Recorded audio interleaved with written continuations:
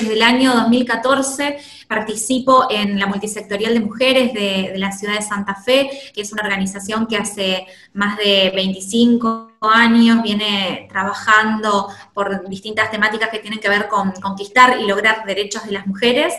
Y em, en la Mesa Ni Una Menos, desde su fundación, desde la primer Mesa Ni Una Menos en aquel 2015, con el crimen de, Chiara Páez, em, que, bueno, que hizo que muchas, en muchas localidades se constituyeran la, Mesa Ni Una Menos, eh, con un claro eh, lema de eh, pelear por decirle basta a la violencia de género, a la violencia hacia las mujeres, y que a partir de ese momento fue un movimiento en, crecimiento. Así que en la ciudad de Santa Fe participo desde el 2015 en la Mesa Ni Una Menos y también desde el 2016 en la Mesa por la Paridad, que bueno, que nuestra provincia es una de las provincias en el país que aún no cuenta con una ley provincial de, paridad, así que también eh, participando de ese espacio.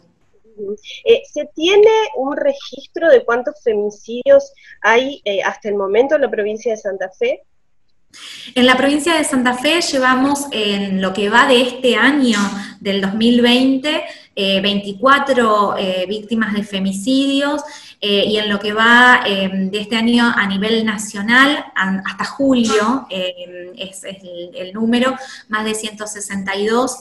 femicidios, lo cual, bueno, es muy preocupante y la pandemia vino a, bueno, acelerar un poco estas cuestiones de, de que nos preocupan, digamos, a las distintas eh, personas que militamos los temas de, los derechos de las mujeres porque nos confinó a estar en nuestras casas, obviamente como medida preventiva ante este virus mundial, pero eh, generó que muchas situaciones de violencia que se daban quizás... Em, en, los hogares se profundizaran con consecuencias fatales y, lamentables. Y mm, la verdad que, bueno, las estadísticas y los números lo que dicen es que el 70% de estos femicidios que sucedió en lo que va del año han sucedido dentro del marco del hogar, dentro de las casas de las víctimas, lo cual, bueno, es muy preocupante. Se están llevando acciones adelante eh, en este tema. Yo actualmente me desempeño como concejala en la ciudad de Santa Fe y em, en lo que fue el inicio de la pandemia y a lo largo de todo lo que fue la etapa de aislamiento social preventivo y obligatorio, difundimos permanentemente los números de guardia de las 24 horas para que se puedan canalizar denuncias y también se habilitaron otras eh, herramientas de comunicación, perdón, de comunicación para eh, que puedan eh, comunicarse si tienen el agresor cerca, el agresor al lado, como líneas de WhatsApp, mail, que bueno, no estaban em, previstas, pero que la situación lo ameritaba. Exacto, impactó, impactó muchísimo y bueno, siendo nosotros de ciudades pequeñas y teniendo muchas localidades y pueblos alrededor, este eh, caso de Julieta hace muy poquitos días Em, digamos, eh, en este sentido la preocupación crece, ¿no? Sobre todo en lugares donde decimos nunca pasa nada hasta que pasa.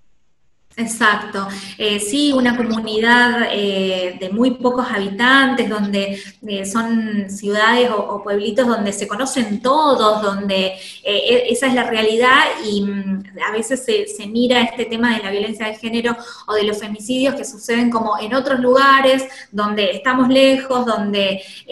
digamos, esa realidad no sucede en, en comunidades tan pequeñas y sí sucede y está bueno hablar de eso, prevenir, hablar de,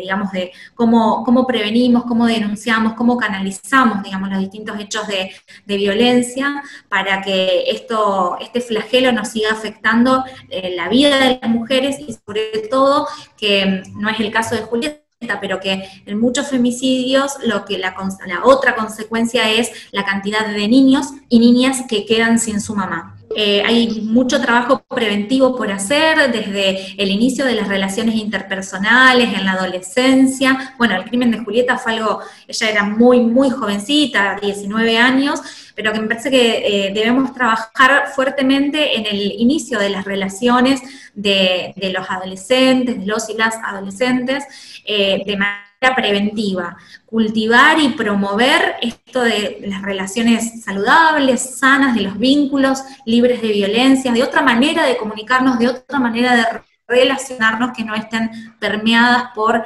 eh, la violencia, que no, se, no es únicamente la violencia física, ¿no? La violencia psicológica, em,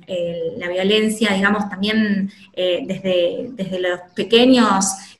gestos y de las pequeñas maneras de comunicarnos, un empujón, un, digamos,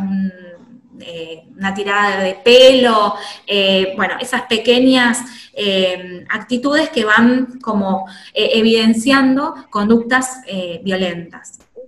Eh, bueno, las nuevas generaciones por ahí eh, hablan mucho más de este tema de lo que hemos hablado nosotros, porque pienso también que hay una cuestión cultural que atraviesa eh, todo esto y que tiene que ver con lo generacional también. Ustedes lo ven así y en este sentido ¿qué se puede seguir haciendo? Porque desde las escuelas se está trabajando la cuestión de la violencia de género, desde otros ámbitos, desde los clubes, han cambiado mucho la mirada de esto, pero bueno, pareciera como que falta todavía mucho más. Eh, sí, eh, nosotros vemos que mm, eh, las, nuevas generaciones dialogan y como mucho de esto no se habla, esto no se denuncia, esto se aguanta hasta el final, una relación por una multiplicidad, digamos, de razones, pero eh, predominaba eso, que de ese tema de la violencia era algo que quedaba en el ámbito privado y no se hablaba. Y las nuevas generaciones vienen un poco más empoderadas, más conscientes de que no hay que naturalizar estos hechos de violencia y em, son, digamos, más, em, están más empoderadas para denunciar, para poner eh, fin a los hechos de violencia y también eh, en los clubes, como vos decías, se trabaja mucho em, desde lo deportivo, en, los equipos y demás, porque antes también había una cultura patriarcal de eh, fomentar esto de decir, bueno, el, hombre duro, el hombre, em, digamos que para demostrar su hombría, eh, lo demostraba a través de eh, la violencia, no solo con las mujeres, sino con otros hombres. nosotros también este año sufrimos eh, o, vimos todos en febrero lo que fue el crimen de Fernando Aez Sosa, que, bueno, que es también un, hecho eh, en, patota muy fuerte, donde eh, un grupo de, deportistas del, rugby, que bueno, digamos, a la salida del boliche cometen este hecho que todos conocemos, que es un poco también esto de demostrar eh, cierta masculinidad hegemónica y todo lo que no concuerda o no va en sintonía con, los valores de esa eh, hegemonía, bueno, es, pisoteado, es golpeado, es eh, disminuido mm, y, la verdad, bueno, en este caso con consecuencias fatales como fue el, crimen de, Fernando Baez Sosa. Eh, así como sucede, digamos, en ese caso, como crímenes de odio también a, eh, personas del colectivo LGTBIQ, eh, también sucede con las mujeres. Y esto se está trabajando con los adolescentes, se está trabajando en las escuelas, en los clubes es muy importante, digamos, que no se fomente la violencia como un modo de, relacionarse y que no se naturalice. Eso está muy bueno el trabajo que se sigue haciendo, creo que igual debemos seguir consolidándonos porque estos crímenes que cada tanto vemos eh, y que suceden nos ponen eh, sobre, digamos, eh, nos ponen en, en, la realidad de que tenemos que seguir trabajando y consolidando distintas herramientas para que se puedan generar vínculos libres de violencia en las relaciones de nuestros jóvenes.